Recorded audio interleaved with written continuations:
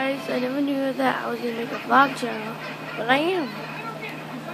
I'm not really um, good at vlogging, but I'll try. Every Wednesday I'll be making vlogs uh, about, you know, life and stuff. I think next Wednesday I'll be doing a prank on my mom or my sisters. But yeah, uh, I think that's it. So I'll see you next Wednesday. And oh yeah, subscribe to my channel if you want like more vlogs and stuff. And that's it. Bye.